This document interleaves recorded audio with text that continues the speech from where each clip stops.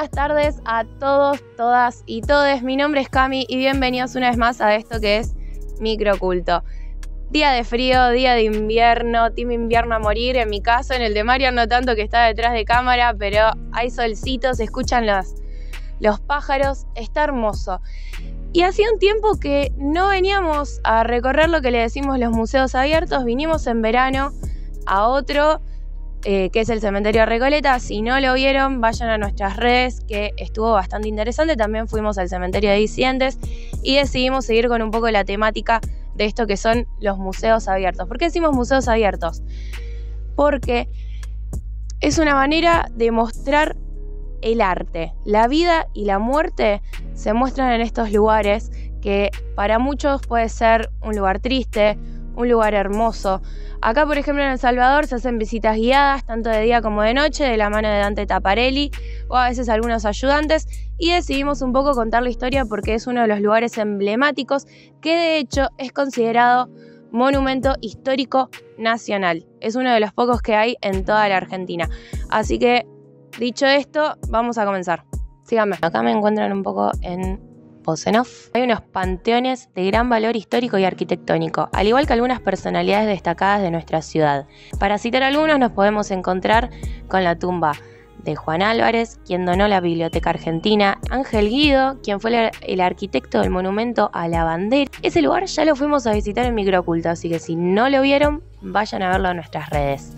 También hay personalidades de la colectividad inglesa que vinieron al país en 1870 para instalar el ferrocarril, aunque también están enterrados en el cementerio de disidentes algunos, que también lo fuimos a ver, vayan a verlo, no se lo pierdan.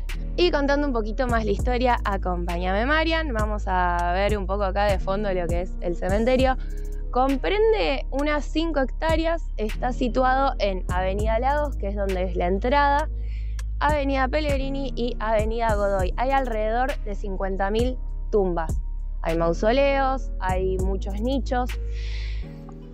Contando un poco la historia, en realidad este no era un cementerio desde el principio, muchas tumbas fueron trasladadas, ahora un poco detrás de cámara mostrándoles algunas arquitecturas que tienen lugar y detalles.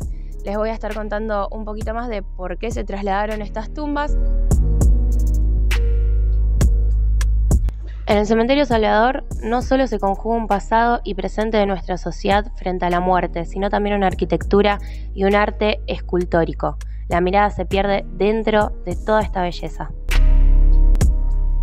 Inauguró el 7 de julio de 1856, no tenía la fachada que conocemos ahora, la cual se inauguró en 1888 de la mano del arquitecto alemán Menzel. Tiene una especie de orden dórico, es muy lindo. Vamos a estar encontrando tumbas muy antiguas que están en el principio de lo que es una vez que uno ingresa. Lamentablemente muchas están en decadencia porque tenemos un serio problema que es la humedad acá en Rosario y con el paso del tiempo, familias que no se hacen cargo o familias que también van desapareciendo con el tiempo, se fueron dejando y ahora en un par de imágenes estamos viendo el estado en el que están, otras están mejor, otras están un poquito peor. Del lado de la Muni, seguimos un poquito más María, vamos a mostrar un poquito más allá. Del lado de la Muni decidieron, junto con la Universidad de Bellas Artes, empezar a hacer la restauración de algunas. Así que eso es algo que está muy interesante.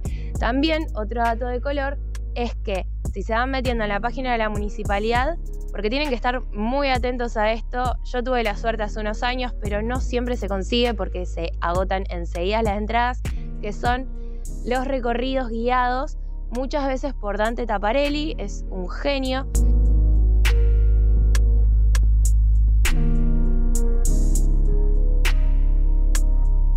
Muchas de las esculturas alegóricas del cementerio fueron realizadas por encargue en Europa. Las obras están realizadas en mármol, granito y también en fundición a la técnica de la cera perdida.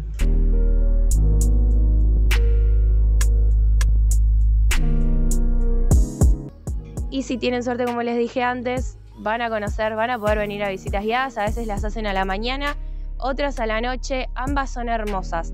La idea de estas como les dije que tuve la suerte de venir a, presenciar una de ellas y recorrerla. En mi caso yo vine a la noche.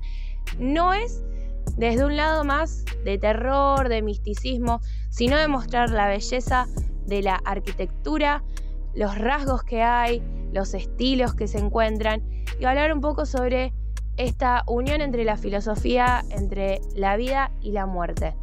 Así que vamos un poquito más allá, recorriendo un poco más el lugar. Vamos.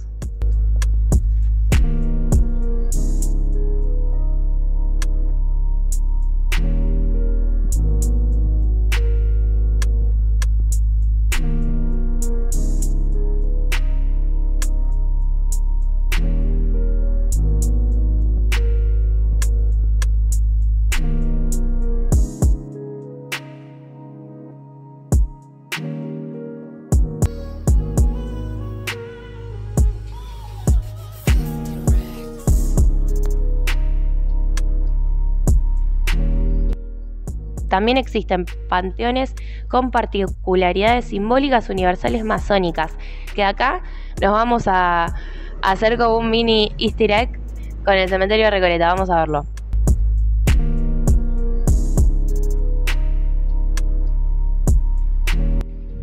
Acá también podemos ver que tiene un montón de simbología masónica. Tiene uno de los mayores exponentes que hubo en su época. Este, si tienen alguna duda con respecto, por ejemplo, sobre el piso, o los símbolos, o la misma águila que está sobre una, torre, por así decirla, si tienen alguna duda, y, ya les hicimos una entrevista a los masones, pero de la logia de Rosario.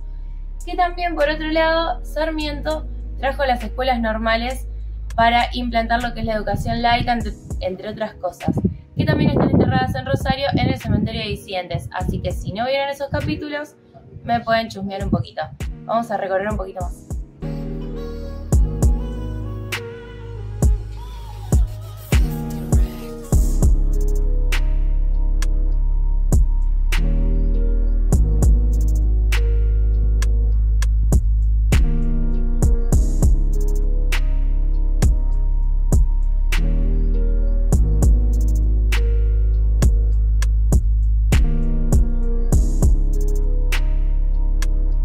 Y con el solcito en la cara, solcito de invierno. Espero que les haya gustado este microculto. Como siempre estuve delante de ustedes, detrás de ustedes, mostrándole la belleza de lo que son, vuelvo a repetir, los museos abiertos. Este tal vez puede ser un lado B del turismo, como siempre le decimos, la idea es que vengan a conocer, a recorrer, a, a mostrar lo lindo que tiene Rosario. Solo le mostramos un pedacito, porque la verdad que es gigante este cementerio y tiene un montón de historias para contar, así que decidimos dejarlo un poquito con el bichito de la duda. Nos vemos la próxima. Chau, chau.